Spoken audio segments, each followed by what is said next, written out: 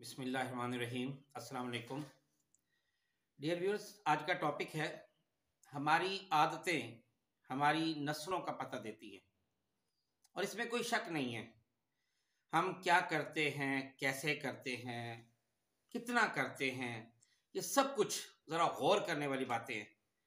देखिए, अगर हम किसी फ़ंक्शन में पार्टी में वर्किंग प्लेस में, अगर हम स्कूल में, कॉलेज में, यूनिवर्सिटी में लेट पहुँचते हैं ना तो गोया हमारे अंदर कुछ एहसास बर्तरी है, और ये ख़ानदानी होने की दलील नहीं है।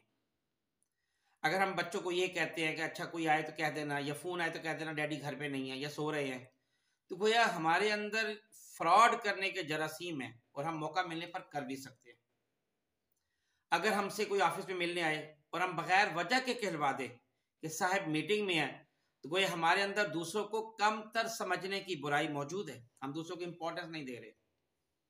अगर हम बतौर मेहमान रूटीन से ज़्यादा खाते हैं प्लेट में सालन ज़रूर से ज़्यादा डालते हैं तो एक तो हम पर वो मुहावरा फिट आता है ना कि माल मुफ़्त, दिल बेरहम। और दूसरा, गोया हमारे अंदर दरिंदों की सी सिफात है, जो अपना पेट भरने के लिए दूसरों का नुकसान करते हैं।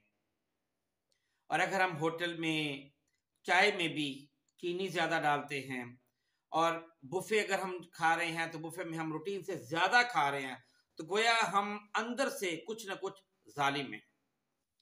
अगर हम ऑफ़िस में आ, उसके ऑफ़िस के वॉशरूम में या होटल के वॉशरूम में या खाना खाकर हम आप ज़रूरत से ज़्यादा रूटीन से ज़्यादा अगर हम टिश्यू पेपर यूज़ कर रहे हैं तो गोया हम बदउनवान है क्योंकि ये भी एक अच्छी निशानी नहीं है।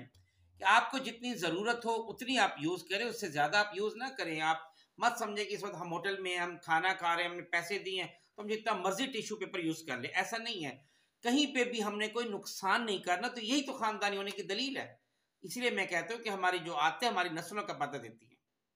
इसी तरह अगर हम बैंक वगैरह में, हम कतार तोड़ कर लाइन तोड़ कर हम आगे जाते हैं, कोई हम दूसरों का हक मार रहे होते हैं तो इससे भी पता चलता है कि अगर आपको अहदा मिलेगा ना तो आप उसका गलत इस्तेमाल करेंगे। और हत्या कि हम पैसे में भी खुद बुद कर सकते हैं। ये हमारी आदत पता चलेगी। अगर आप घर का गंदा पानी दूसरों के घर की रुख, रुख मोड़ देते हैं या दूसरों के घर के सामने कूड़ा क्रिकेट फेंक देते हैं तो वही आप दूसरों की इज़्ज़त की परवाह नहीं करते। आप दूसरों को बदनाम कर सकते हैं आप उन पर इल्ज़ाम लगा सकते हैं। और अगर आप ऑफ़िस में बैंक में या मस्जिद में जो फालतू लाइट्स या फैंस हम बंद नहीं करते तो गोया हम मुल्की वसाइल को बेदर्दी से इस्तेमाल करेंगे, अगर हमें मौका मिला तो। अगर हम काफ़ी वक्त कंप्यूटर गेम्स में गुजारते हैं या दोस्तों को ज़्यादा टाइम देते हैं तो हमारे अंदर गोया आगे बढ़ने की सोच तो हो सकती है, पर जज्बा नहीं होता। इसका मतलब है तो हम ख्वाबों की बस दुनिया में रहते हैं, ठीक है? और अपने आप को ख्वाब में, ख्यालात में हम बेशक कर्नल और जनरल समझते हो, कुछ नहीं फ़र्क पड़ता उससे।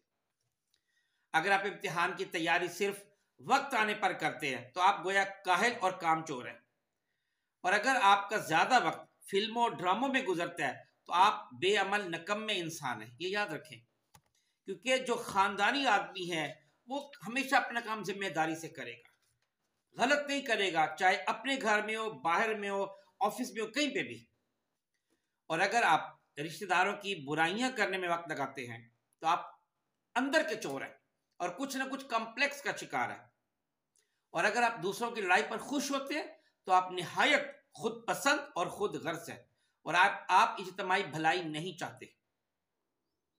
अगर आप इबादत में सुस्ती करते हैं, कुरान की रोज तिलावत नहीं करते, नमाज़ को वक्त पर अदा नहीं करते तो आपकी इबादत में खलूस नहीं है। तो गोया आप सिर्फ़ अच्छी दुनियावी ज़िंदगी तो चाहते हैं, लेकिन आखिरत पर आपका ईमान डगमगा रहा है। अगर आप ट्रैफ़िक कवानीन की पाबंदी, सिर्फ़ ट्रैफ़िक पुलिस को देखकर करते हैं और उसकी गैर मौजूदगी में लॉ तोड़ते हैं तो आप अंदर के चोर है, मौका शनास है और मौका से फ़ायदा उठाने वाले और मौका मिलने पर आप हराम भी खाएँगे। अगर आपकी शौक से बदबू आती है, आपकी वेस्ट यानी बनियान हमेशा मैली रहती है तो आप जमीर के कैदी हैं। आपका ज़ाहिर और बातिन अलग अलग है, आप खरे इंसान नहीं हैं। अगर आप हमेशा सिर्फ़ अपने हक की बात करते हैं, अपने फ़र्ज़ की बात नहीं करते तो आप नहायत खुद गरज और चालाक इंसान है।